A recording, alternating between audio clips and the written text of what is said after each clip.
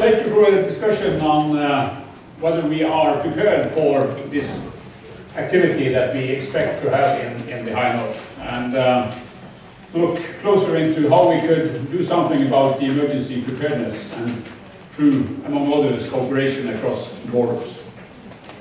We have, uh, as board talked about, established a broad network uh, to focus on these issues. And we're following closely the activity in, in the north, both when it comes to the cruise ship industry and the oil and gas industry. Uh, as has been said before, we have a lot of good institutions and agreements in, in North. In addition, we have also frequent meetings, exercises, training, and we have open communication lines. And definitely we have trust-building relations and efforts towards building people together. Three weeks ago, the Norwegian Coast Guard vessel uh, Andenes visited Arkhangelsk for the first time. That was, the first time a Coast Guard ship was so far east in, in Russia. And this is an example of even in periods of political turmoil, we can keep these relations open and discuss common challenges and opportunities. This is an example of how we can cooperate. It's best practice on linking people together, playing soccer, having good discussions, and planning for the years to come when it comes to activity and preparedness.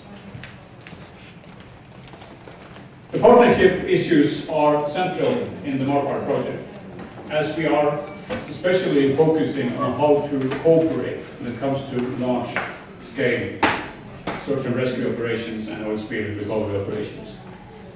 And this is an area where we have to cooperate because the capacities in the north are strictly limited.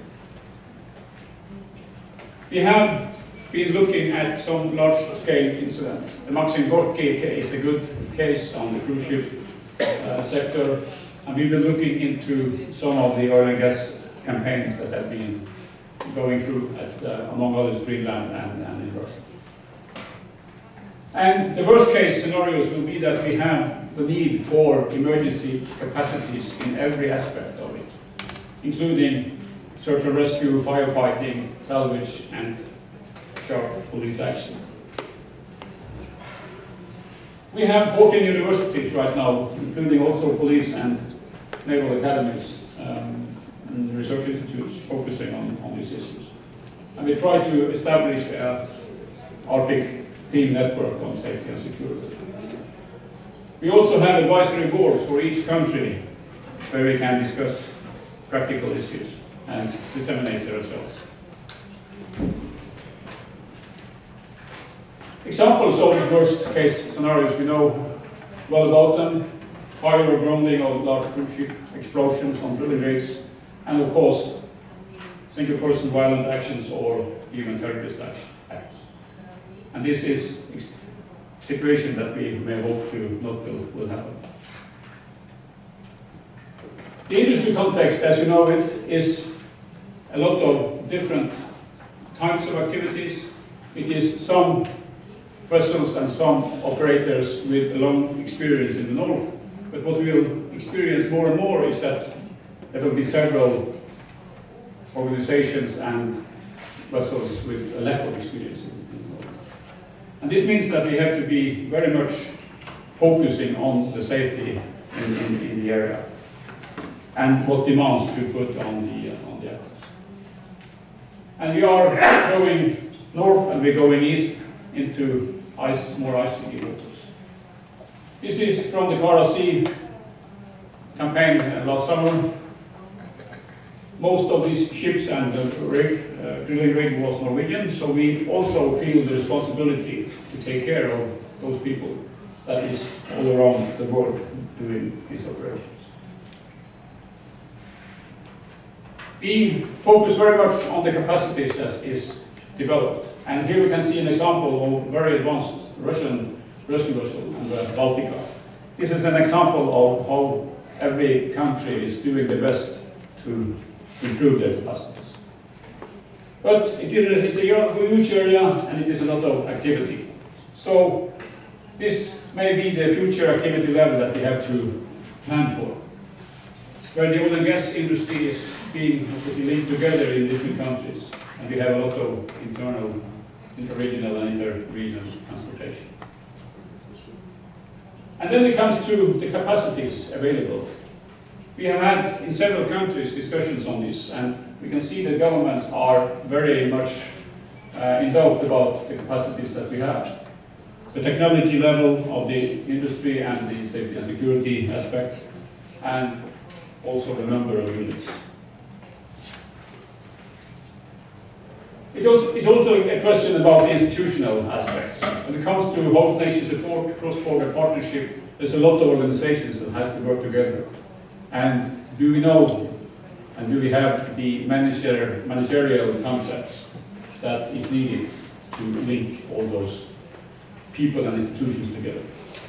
In two weeks' time, we go to Finland for the Barents uh, rescue exercise. And this is a good example of how we can train and exercise in order to, uh, to bring a lot of different institutions together and from many countries. When it comes to organization and management, most countries are good at smaller scale and incidents within their own jurisdiction. When it comes to larger scale operations, it's more challenging. And we had the example of the 20, July 22nd uh, disaster that showed us that we are not so good at coordinating many organizations. We also need a lot of competence, and this is the second phase of the MARPART project. We will look into the, the way we are educating personnel for the industry, for the preparedness institutions, and we will do go into the training and exercise concepts that, that is used. This, here we can then develop more best practices across borders.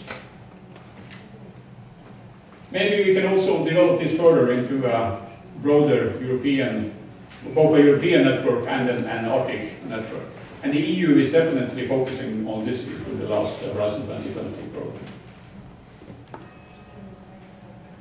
And the examples of how we are doing is being on both sides of the, of the border, having observers in every part of the organization.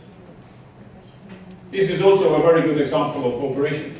The Norwegian vessel Beta from the Coastal Authority of Norway and the Russian vessel Captain Natishkin, working closely on recovery operations. So I will uh, conclude with saying that we have a maritime activity level that is quite complex. We have a lot of different sea areas with different demands. There is a need for preparedness preparedness and emergency capabilities to be highlighted and fueled. And the management and organization issues are important, in addition to the technology development side. We may benefit from building networks and cooperation across borders, and we need to establish the best practice concepts and joint competence programs. Thank you.